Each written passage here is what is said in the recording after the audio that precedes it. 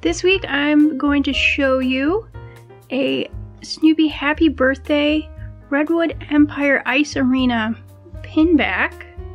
This is a recent find I got on eBay for about $15, which is a little bit more than I usually want to spend on a pinback, but this one is special and unique. So as you can see, it says happy birthday and then there's a space here to write your name.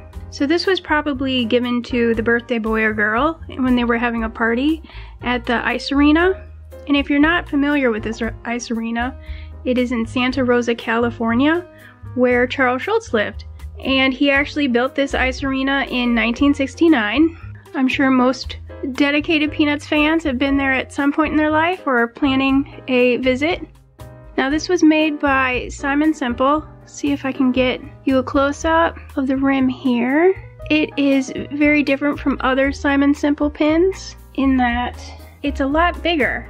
See, this is a typical Simon Simple. You can definitely see the size difference there.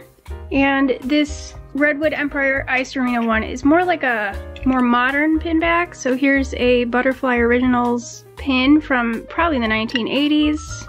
So you can see that they're pretty closely sized. So the reason I bought this pin was I had never seen it before and I thought it was very unique.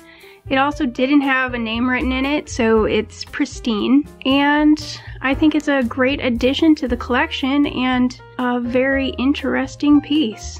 If you like this video, please like and subscribe. And also join us on Patreon, Instagram, and Facebook. Plus, visit us at CollectPeanuts.com. Thanks for joining us. Bye!